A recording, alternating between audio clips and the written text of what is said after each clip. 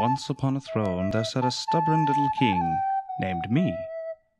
King Me ruled a declining kingdom in the low rent district of the land of Uzbuz. He sat on his throne hopelessly, watching the ruin of his beloved empire. Then, one day, one of his subjects announced the arrival of a visitor that sought an audience with His Majesty. Let's join them now in episode one of King Me.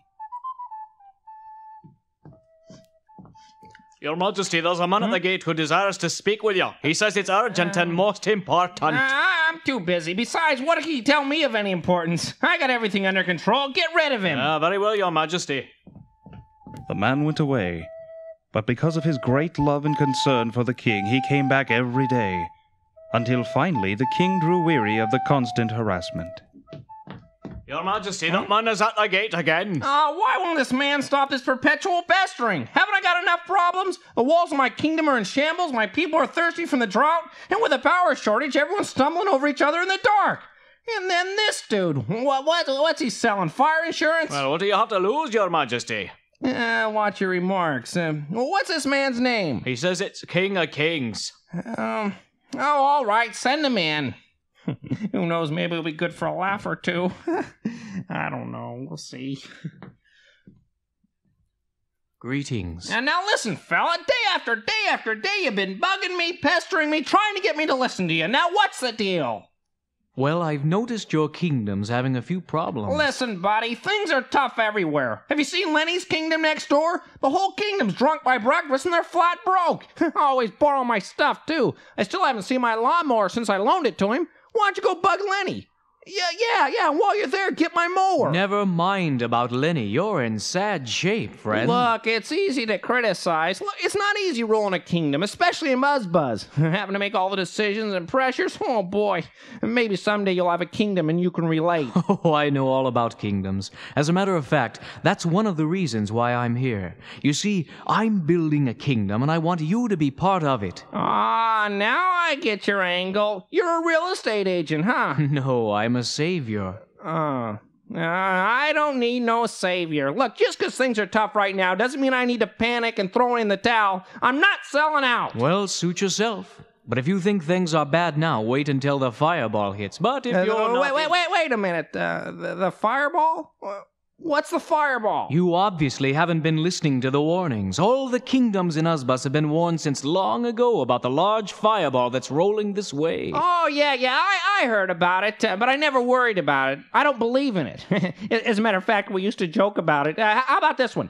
How many fireballs does it take to screw in a light bulb?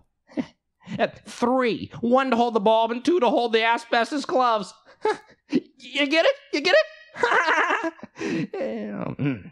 I'm afraid you won't be laughing when it comes. you mean it's for real? Well, look, I, I figure with the kingdom walls, it'll just bounce off. No, your walls are so weak they're useless. Well, we'll rebuild the wall. with your power shortage, your builders can't even see the wall. Look, we got the finest fire department in the land. If it comes, we'll douse you it. forget with your drought you don't even have any water. Eh, yeah. Hmm, Well, what do you suggest? Allow me to sit on your throne. On my throne? What can you do? I will give you the light of the world, water so you will never thirst again, and I will rebuild your walls with solid rock. What makes you so special? What makes you think you can do something I can't? Because I built this kingdom, me, and Lenny's kingdom, and all the other kingdoms as far as the eye can see. But my subjects were deceived by a lying, wicked prince who wanted my throne. I let the people choose their king, and they chose Prince Darkness. Prince Darkness. Yeah, I think his name was on the lease when I took this kingdom. Yes, but the problem is Prince Darkness had a death sentence out on him from my father. Now the fireball that's coming for Prince Darkness will take not only Prince Darkness, but all of his subjects too. Gee, that means me. But, but what can I do? I signed the lease. If you give your kingdom over to me, the lease is void. Do you see? I'm the true owner of all of Uzbuz. Well, how can I be sure you tell me the truth? Believe and receive, and you will know even as you are known. you sure Lenny didn't put you up to this? The choice is yours, King Me. Hmm. Can't kings. I, I do believe you. So, well, here's my crown. It's yours. I hope it fits. If not, we can adjust the band or line it with Kleenex. I don't need your crown. I'll just take your throne.